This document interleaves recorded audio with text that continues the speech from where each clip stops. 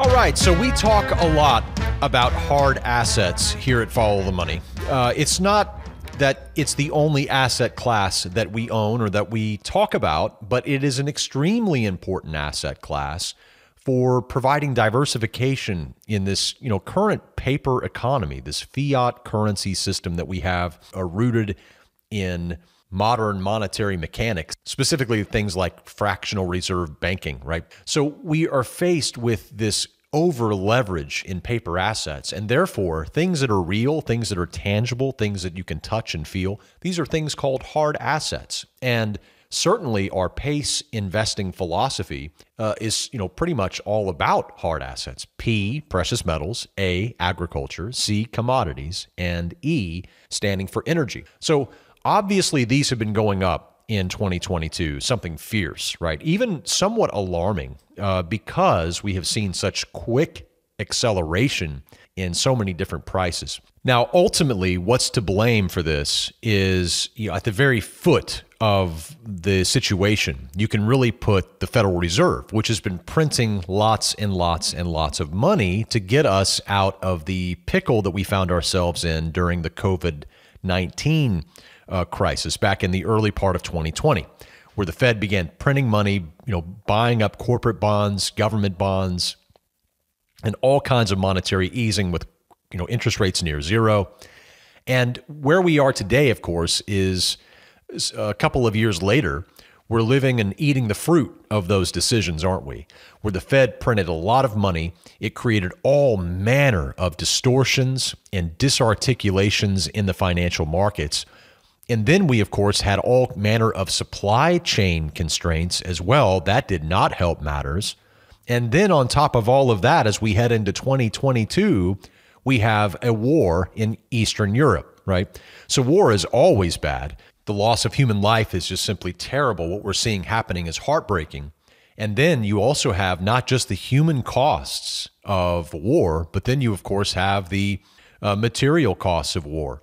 And when you look at Russia and Ukraine, for example, you'll find out that those two countries are some of the biggest producers of agriculture and food in the whole world.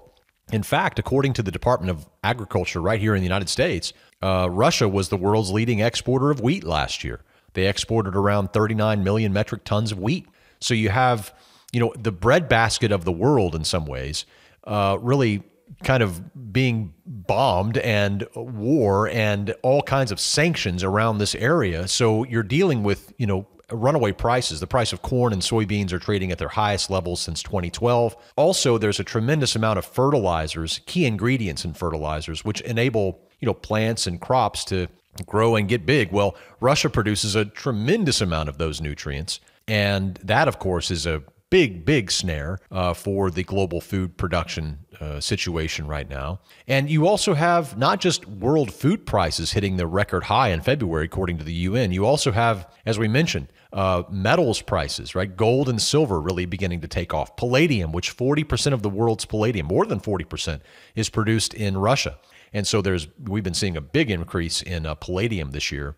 Also, you're you know you're seeing silver break out above its 200-day moving average just recently. That's really encouraging for silver investors, but of course it's coming at a terrible time uh, for the world.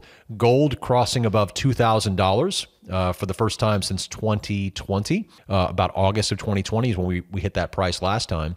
So gold also uh, really working in this environment. Then you have, of course, energy prices which are just through the roof, right? So the U.S. national average price of gasoline uh, just hit a record price this week. Uh, the previous record was set back in 2008. Now the average price of gasoline here in the United States is well above four dollars about four dollars and ten cents, or even close to twenty cents now, uh, as you know, gas prices just uh, are hitting Americans very hard, and the globe for that matter, right? So it doesn't matter if you're in the U.S. or in Europe you're seeing, you know, big inflation. And inflation, by the way, as we always say, is is uh, a result. You know, price inflation is is an effect of a cause that is monetary inflation.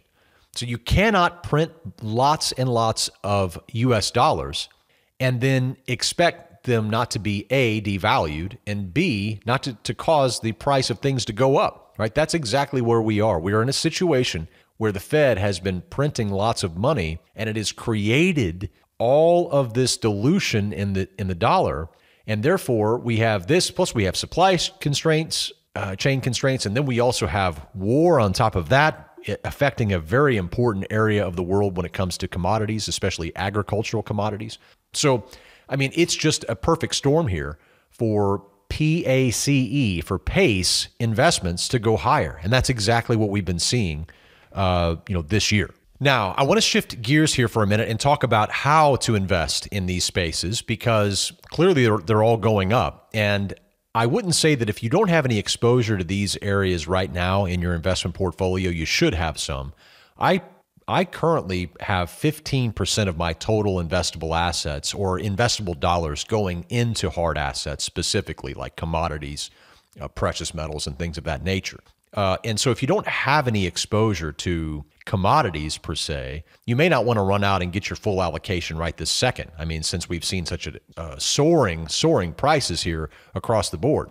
However, what I would say is that you really do want to have exposure to commodities, especially in this paper economy that we're in, right? This fiat currency system that we're in. It's driving prices of commodities higher. So having exposure is important. Now, uh, what I want to do is just go through each one of these briefly and talk about how you can get exposure. So let's talk about P first, PACE. So the P stands for precious metals, things like gold, silver, palladium, and platinum. So far this year in 2022, we have gold up almost 10%, silver up about 13%, platinum up about 15%, and palladium, which is the one that's been most affected by the current uh, war in Eastern Europe, uh, as Russia is the leading producer of palladium. Palladium is up nearly 60%, right? This is just since the beginning of this year. So, some really big, big moves, uh, but especially in palladium. Now, we like precious metals because we have seen throughout history that precious metals are a direct beneficiary of poor monetary policies. Now, there's several ways that you can invest I- across the board in precious metals. One way is just to straight up buy physical bullion. This is the most direct form of ownership. And in my opinion, the best way to own precious metals is to actually own the metal itself. So, gold or silver, palladium, platinum, you can buy these in coin form, bar form, uh, directly from a dealer. Now, we here at Follow the Money have long used Tom Cloud for physical bullion and he provides great prices and we just you know call him anytime we want to add just like many of our members do if you ever want to contact tom you can always reach out to him and just tell him you heard about him on follow the money and he will give you the same deal he gives to us it's a really good deal now that uh, physical bullion is one way to get exposure to precious metals. Another way is through numismatic coins. Now, these are coins that are considered to be rare or collectible. This is more of a area that I would typically avoid unless you're just absolutely specialized in that space, right? Unless you're just really a coin collector or things like that. But not really thinking about coin collecting here. We're thinking about really protecting from inflation, and physical bullion does that. But you can also invest in shares of mining operations. You know, investing in gold and silver mining companies can be risky. But I believe that you know if you do your research, you can find some really good companies. Now, one of the easiest ways to get exposure to just a basket of mining shares would be to use like the market vectors gold miners ETF, ticker symbol GDX. And that gives you just a, access to a big basket of gold miners uh, without having to choose which miner to buy, right? Very, very important that if you're going to choose a specific gold miner, that you do your research, that you don't just you know jump in uh, to whatever you see online. You, so this is why ETFs can be much more powerful for the average investor who wants exposure to the asset, but he doesn't want to have to choose which one is going to go up. You can really be wrong. Many investors get burned because they try to pick stocks instead of just investing broadly across the uh, the space. So unless you know what you're doing, unless you're willing to research and put hours of time into it, typically the ETF can give you just broad exposure to that particular theme that you're looking for. Uh, you know, obviously there are mining exchange traded funds. As I mentioned, there's GDX. There's also GDXJ, which is the uh, uh, junior gold miners ETF. That one also can be helpful. Then there's also the Global X Silver Miners ETF, ticker symbol SIL. And then the junior version of that is SILJ. These are companies that are in the silver mining space. And so these can really be interesting as well. You can also get exposure to palladium through uh, an ETF. Uh, but again, we would usually prefer to have physical metal in our possession as opposed to you know buying uh, metals with an ETF only for you know only for trading. Same thing goes for options and futures. You know, you could do some options trading uh, in the space as well. But really, holding a portion of your wealth in physical uh, assets, hard assets like gold, like silver, I believe is a smart idea. So that is the P in PACE. Now let's move on to A. A refers to agriculture. And if you've been paying attention, as we mentioned, to what's been happening in the, the price of many agricultural commodities, it is just simply uh, astonishing. It really, really is. So when we take a look at, for example, the performance of many different agricultural commodities, well, we see many things. We see wheat is up nearly, you know, 55, 56%. We see soybeans are up 27% this year. Corn is up 25%. Soy soybean meal is up 21%. Canola oil is up 10%. Even rice is up like 7%, you know, this year. You have lean hogs that are up 24%. That's driving the price of meat higher, of course. And, you know, even things like, um, you know, uh, cotton are up and cocoa are up. So, you know, we're dealing with really broad, uh, you know, inflation at the agricultural level. Now, there's ways to invest in agriculture. Uh, obviously, you can invest directly in farmland, and that's a really, you know, that's obviously a very good way to invest in agriculture. But you can also invest in agricultural uh, companies. There's many, you know, leading uh, agricultural companies that are very well positioned. Not just companies that produce the food, but companies that help produce the food. Uh, maybe even, you know, companies like John Deere or Caterpillar. Uh, there's also you know companies that are in the fertilizer space like CF Industries. You know these are some of the uh, different companies that are out there in that space. Now you want to do a deep dive and see which one's right for you, but then you can also get exposure to a broad basket of agricultural uh, stocks by using the Invesco Agricultural ETF. That ticker is DBA. Uh, that that particular ETF has done really really well this year and currently, it's ranked in our top 10 on our ETF leaders. So we have an ETF leaderboard here at Follow the Money, and all of our members are able to see, all of our gold and platinum members are able to see uh, that leaderboard updated every week. And all year long, we have just had these commodity, energy, metals, agriculture, uh, types of ETFs at the top of the leaderboard, right? So keeping our members on the right side of the trend. Right now, uh, you know, uh, the corn ETF is in the top 10. Uh, the crude oil ETF is in the top 10. The agricultural ETF DBA is in the top 10. Uh, palladium is in the top 10. Soybeans are in the top 10. I mean, so it, you know, it's incredible how our ETF leaderboard is keeping our members on the right side of the trade so they know exactly what's what's hot right now. Now, you can, as I mentioned, you can use exchange traded funds to invest in agriculture. You can invest in specific companies. You can even buy farmland, you know, outright. Uh, and there's even ways to do that online with crowdfunding. So that's also a very popular thing. Now, I just covered quite a bit of the agricultural commodities and some of the regular commodities as well. There is another ETF that you can look at that focuses on uh, commodities per se, and that is uh, the Invesco Commodities ETF, which is actually the number one trend ranked uh, ETF right now on our ETF leaderboard. And that ticker is DBC. So that one is one that gives you exposure to, you know, I want to say around 14 of the most heavily traded and important physical commodities in the world. And so that's a easy way just to get exposure to you know a big basket of commodities. Now, remember, they're not always just going to go straight up, right? And you don't want to chase these types of markets, but instead you just want to know about them and have a plan, right? So let's continue on. We've talked about uh, precious metals and agriculture and commodities largely. Let's talk about the final one,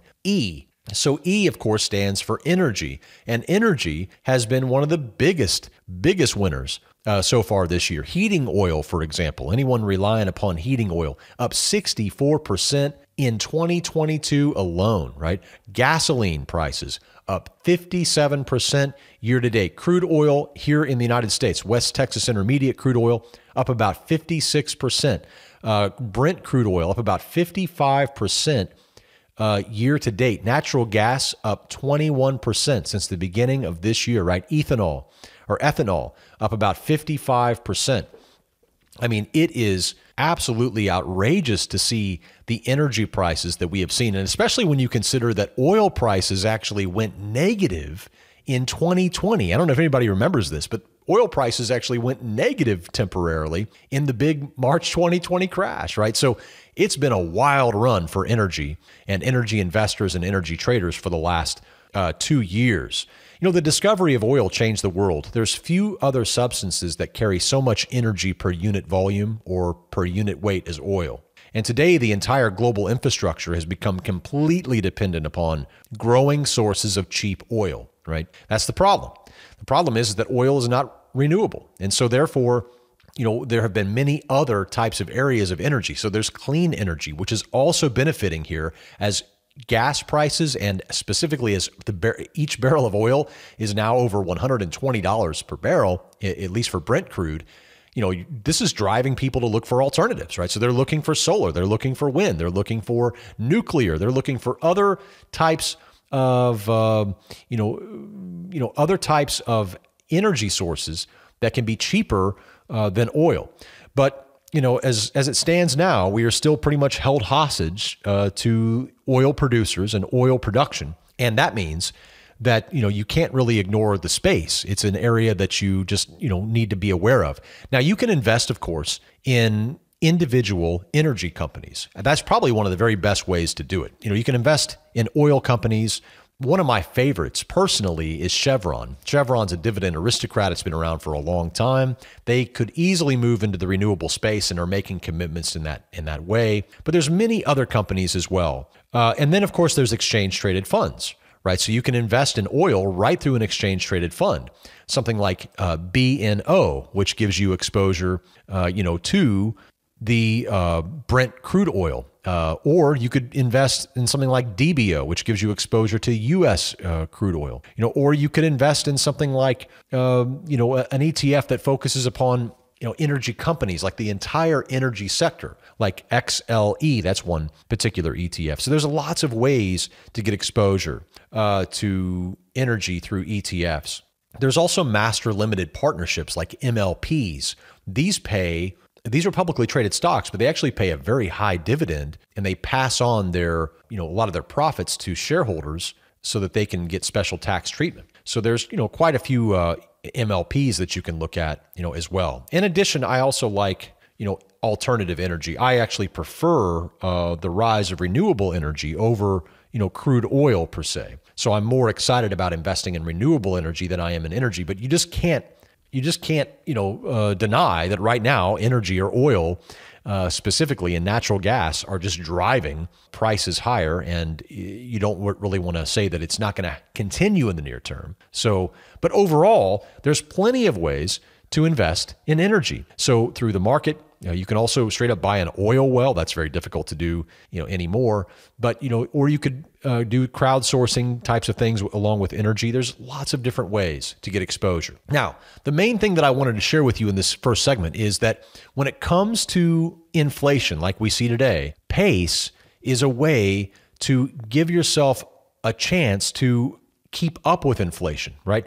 Not just stocks, not just real estate, not just your own business, not just other things, but also these investments that are rooted in hard assets, right? Uh, and so I encourage you to remember that simple acronym PACE. Historical data demonstrates that these four areas precious metals, agriculture, commodities, and energy, also known as hard assets they have performed extremely well during previous times of inflation. And these hard assets are tangible investments that you can physically touch, you can handle. And we've been focused on these areas for many, many years. If you want to learn more about the PACE investing philosophy, you can pick up a copy of our book, Bankruptcy of Our Nation, where I have a whole chapter devoted to understanding this particular type of investing style. But then also, we've talked in this book all about inflation, why it's coming, modern money mechanics, so much in this book, Bankruptcy of Our Nation, that will help you understand where we are right now and where things are very likely heading.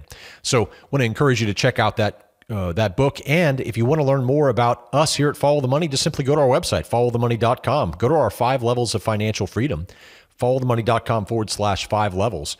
And we will provide you a free uh, guide right there where you can actually learn how to achieve financial freedom. And it incorporates investing, you know, in things that go up whenever inflation go, goes up, right? So we have all of that information for you right there. Plus, of course, our free podcast. You can go back and listen to several of our previous podcasts we've done. We just recently did one entitled Hard Asset Investing 101. That was episode uh, number 398. I would strongly encourage you to check out that uh, that episode if you haven't heard it yet. That'll be really helpful for you uh, when it comes to this particular space. We also did a episode back in uh, episode 390 back in May of last year called "Gold is Set to Shine," and we also did an episode back in May of last year, also uh, episode number 389 called "Inflation is Here." So We've been trying to set you up here to see what is coming.